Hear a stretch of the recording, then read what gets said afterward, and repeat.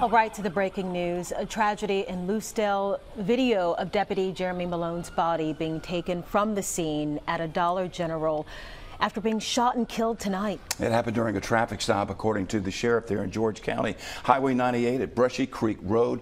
A short time later, the sheriff says the suspect was shot and killed after a pursuit that ended in Perry County.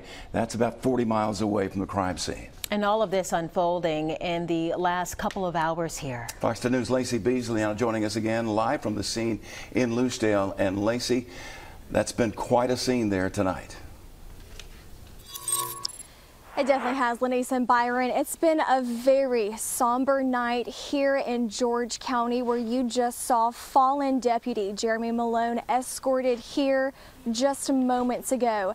Now I'm going to step off and show you the last bit of what remains here for the most part. Most of the deputies, most of the officers have left and you can still see there is a group of investigators that are still here right now. This is the last of this scene here tonight in Lucedale. Now we're going to show you some video from when we first arrived and here's what unfolded.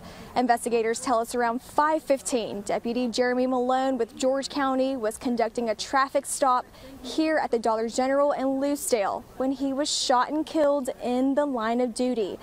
Now, the suspect, who investigators say they will later identify, led other law enforcement officers and agencies on a vehicle pursuit out of George County into Perry County.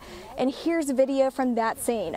The suspect was shot and killed by law enforcement as the pursuit ended, and this is being investigated by the Mississippi Bureau of Investigation.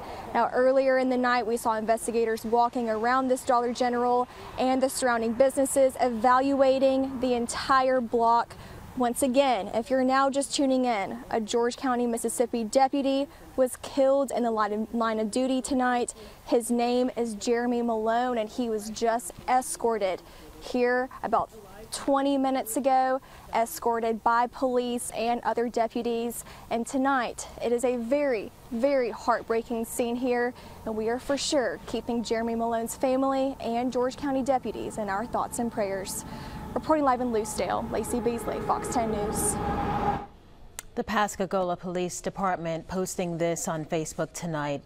It reads in part, quote, our thoughts and prayers are with the George County Sheriff's Office as we learn that a deputy has been shot and killed in the line of duty.